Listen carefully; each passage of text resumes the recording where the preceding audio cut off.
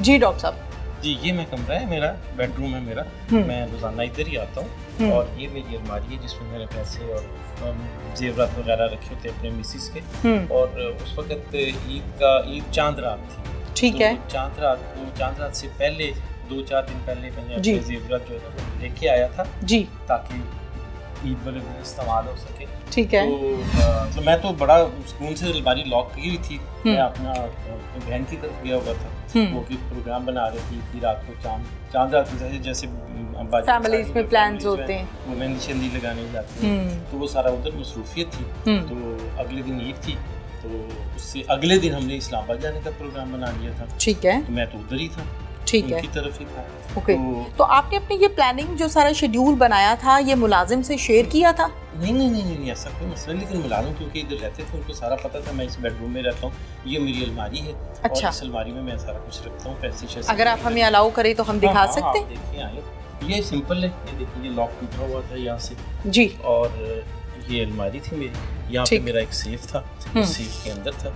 तो जब मैंने आके देखा तो ना सेफ़ था इधर हम्म। और अलमारी खुली हुई थी जो लॉक टूटा हुआ था मैंने देखा तो सारा कुछ था।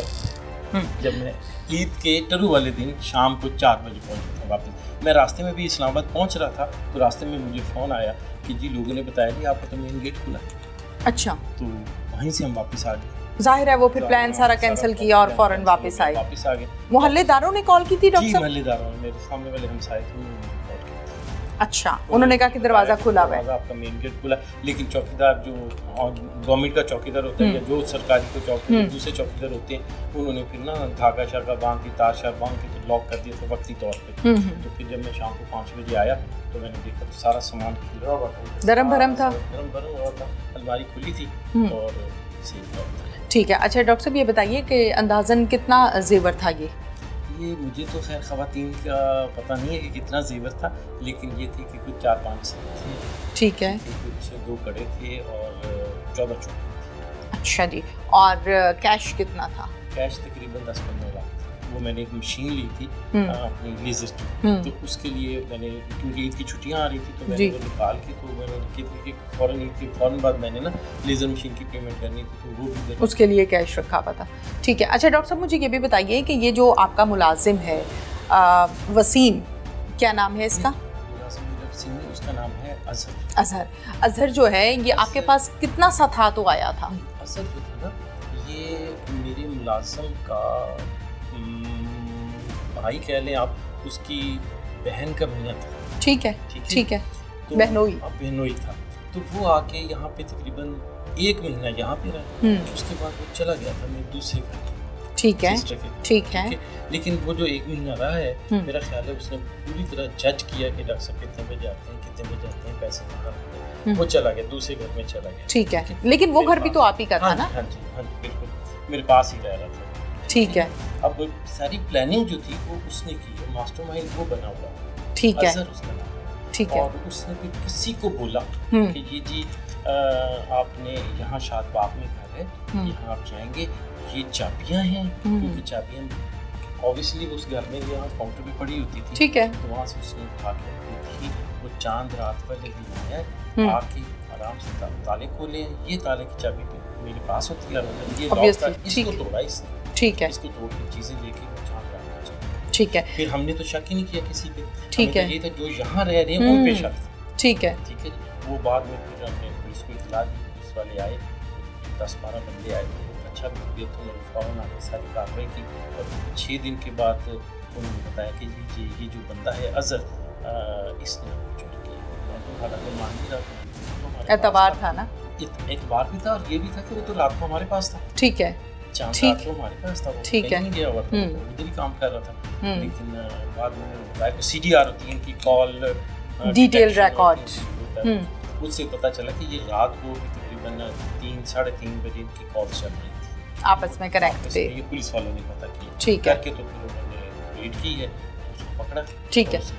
उसे डॉक्टर साहब आपके घर में कैमरास लगे हुए हैं कैमरास लगे हुए थे लेकिन वो ख़राब थे या वैसे स्विच उतरा था जब मैं आया था तो स्विच उतरा था। कैमरास का यानी इन सिंपल वर्ड्स हम ये कह सकते हैं कि तार निकाली गई है ताकि रिकॉर्डिंग ना हो सके।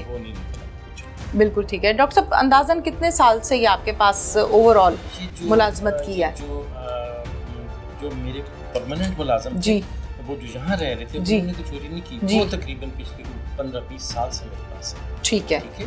अच्छे हैं वो लेकिन उनका जो क्या बोलते हैं बहनोई। बहनोई जो बहनोई था उसने हिसाब उसने ये काम किया है। अच्छा डॉक्टर साहब आप पुलिस की कारकर्दगी से मुतमिन आर यू सेटिस्फाइड हाँ जो उन्होंने काम तो अच्छा किया ठीक किया है। मतलब, रिकवरी आपकी कुछ हो गई हाँ है कुछ थोड़ी हाँ, बहुत रहती है। रहती है। क्या डिमांड है? आप कुछ कहना चाहते हैं कोई मुतालबा? पुलिस को पुलिस के हवाले से या एक तो वो यही है कि बहुत बहुत शुक्रिया उनका कि बड़ी हम्म। अच्छी उन्होंने जल्दी पाँच छः दिन में उन्होंने ना हम्म, जी पकड़ लिए थे लोग। और दूसरा मैं ये कहूँगा कोशिश करें और ज़्यादा ताकि मेरी रिकवरी पूरी हो सके। बिल्कुल ठीक है। अच्छा डॉक्टर साहब इसके साथ साथ मैं एक और बात आपके ज़रिए से अपने देखने वालों से करना चाहती हूँ कि हम घर में मुलाजिम तो रख लेते हैं ऑब्वियसली ज़रूरत होती है। सभी रखते हैं मैंने भी रखा आपने भी रखा और लोग भी रखते हैं। लेकिन मुलाजिम को घर का भेदी होने में कुछ ज़्यादा टाइम नहीं आपके घर की स्टोरी है एक महीना सिर्फ़। सिर्फ़ और आप ये देखें खुदा ना खास्ता अल्हम्दुलिल्लाह कोई जानी नुकसान नहीं हुआ कोई ऐसा प्रॉब्लम नहीं बना। क्या कहेंगे मुलाजमों को एक हद तक रखना चाहिए ना? जी, तो कहीं ना कहीं आप समझते हैं आपकी गलती है कि आपने आखिर कभी ना कभी किसी ना किसी मुलाजम के सामने लॉक में पैसे या कैश रखा होगा या गोल्ड रखा होगा। डेफिनेटली ये एक्चुअली क्योंकि मेरे पास जो मुलाजम पहले रह रहे जी, जी। उन पे कोई एतबार था। ठीक है ठीक है। लेकिन ये बीच में ये नया आया ना हम्म। मैं उसी रूटीन में था। हाँ। जब उसी रूटीन आपने कहा वो भी अच्छे हैं तो ये भी अच्छा होगा। अच्छे होंगे। हम्म। तो लेकिन वो तो बड़ा मास्टरमाइंड निकला वो तो। हम्म। चला गया लेकिन अब पुलिस ने उसको पकड़ा हुआ है। हम्म। अब उसकी सजा मिल गई है। बिल्कुल ठीक है। पुलिस स्टेशन चलते हैं और उन मुलाजमीन जो इस घर में मुलाजिम थे और अब वो मुलजिम है मुलजिमान से बात करते हैं। चलते हैं मुलजिमान की जानिब और उनसे बात करते हैं। क्या नाम है? जी मेरा नाम अजहर है। अजहर। अजहर ऊँची आवाज़ में बात जी करें मेरा नाम अजहर है। कितनी उम्र है? मेरी उम्र तकरीबन 26 साल है। छब्बीस साल। क्या करते हो? जी मैं डॉक्टर साहब के घर में मुलाजिम था। क्या? मैं सफ़ाई वगैरह करता था। सफ़ाई करते थे? हाँ कितने अरसे से? तकरीबन मैं उनके साथ अठारह माह हो गए थे अठारह साल हो गए थे। 18 साल? हाँ जी। 26 साल के अबू? हाँ जी और तकरीबन ना उससे तो बीच में गैप भी था मैं सियालकोट काम काम पे चला गया था।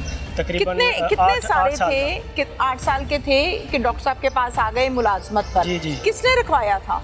जी ये मेरे बहनोई ने रखवाया था। बहनोई ने रखवाया हाँ था? हाँ बहुत छोटे से थे ना यानी यहाँ की डॉक्टर साहब के घर खोली। हाँ जी बिल्कुल ऐसे ही है? जी इस तरह। अच्छा अब मुझे ये बताओ कि सफ़ाई के अलावा और क्या क्या काम करते थे? बस मैं सफ़ाई करता था और बस मैं सफ़ाई वगैरह करता था। सिर्फ़ सफ़ाई करते हाँ थे? हाँ जी। आपकी फैमिली में से और भी कोई मुलाजमत उनके यहाँ करता था? मेरी फैमिली इधर मेरी बहन रहती थी दूसरे घर में हम्म। शादबाग हम्म। जी वो क्या करती थी वहाँ? वो भी वो इधर ही रहते थे बस उनका जो मियाँ वो मिस्त्रियों का काम करता था। डॉक्टर साहब से कोई तनख्वाह तय हुई थी? खर्चे तय हुए थे? क्या चीज़ें तय हुई थी? नहीं मेरी तनख्वाह ही थी। मैं सत्रह हज़ार रुपया तनख्वाह लेता था उनसे। और? और बस। बस सत्रह हज़ार देते थे। घर कब कब जाते थे? घर में तकरीबन दो माह बाद तीन माह बाद पीछे चक्कर लगाने जाता शादीशुदा? हाँ जी शादीशुदा। बच्चे कितने? बच्चे दो हैं। पीछे रहते थे? नहीं वो मेरे साथ इधर ही रहते थे। घर भी दिया हुआ था डॉक्टर साहब ने? हाँ जी दिया हुआ था। या कमरा दिया था? सर्वेंट क्वार्टर दिया हाँ था सर्वेंट क्वार्टर। वहाँ रहते हाँ। जी वहाँ रहते तो ऑब्वियसली फिर किचन का भी ध्यान रखते होंगे खाने पीने का भी रखते हाँ, होंगे। बिल्कुल बिल्कुल। तो बताओ ना मुझे पूछना क्यों पड़ रहा है बताओ ना। नहीं वो मेरी बेगम भी थी ना मेरे साथ वो हाँ। किचन का काम करती थी। इसी घर में? हाँ जी इसी घर में। तो मैं डॉक्टर साहब के घर पे कितने लोग थे? डॉक्टर साहब के घर में उनका एक बेटा है और डॉक्टर साहब है। बस। बस। आप भेती कब बने घर के? ये तो मुझे पहले पता था ना जब इतना अरसा हो गया था। पहले ही पता था मुझे। एतबार किया था डॉक्टर साहब ने आपके ऊपर? हाँ जी एतबार किया था। आपने क्या किया? मुझसे गलती हो गई। क्या? ये जो चोरी हुई है चोरी मैंने की है। क्यों इतना बड़ा काम किया? बस गलती हो गई। अठारह उन्नीस साल की मुलाजमत एतबार भेदी फिर उसके बाद उसी घर में चोरी करना जिस घर का खा के पले बड़े हो। हाँ, बहुत छोटे थे ना? हाँ, क्या मजबूरी थी? क्या प्रॉब्लम था? मुझे वो कहानी सुना दो। मजबूरी भी नहीं थी बस एक ना ज़िंदगी में मैंने कभी इस तरह का काम नहीं किया। अच्छा। ज़िंदगी में हर ये ये सारे मुलजिम कहते हैं। और ये ना पता नहीं क्या हुआ था मेरे जहन में आ गया तो बस गलती हो गई कोई मजबूरी थी? नहीं मजबूरी कोई भी नहीं। किसी के पैसे देने थे? नहीं नहीं पैसे मैं किसी लालच आ गया था? हाँ बस लालच समझ लें लालच। आ गया हाँ, था। बस यही समझ लें कहाँ कहाँ डॉक्टर साहब ने पैसे रखे ये तुम्हें पता था? नहीं मुझे सिर्फ़ ये पता होता था कि बस ये इस अलमारी में पैसे रखते हैं बस। और जेवर का कैसे पता चला?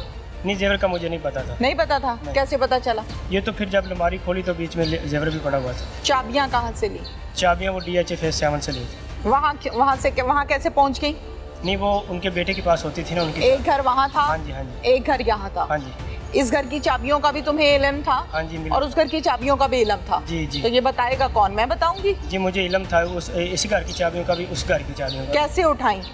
वो उधर पड़ी होती थी मुझे पता था ना तो फिर मैंने उधर से उठा ली। पूछा नहीं? किसी ने देखा नहीं? नहीं वो चाबी पड़ी हुई थी ना मैंने उठा ली किसी ने नहीं पूछा मुझसे। किसी ने नहीं पूछा? नहीं।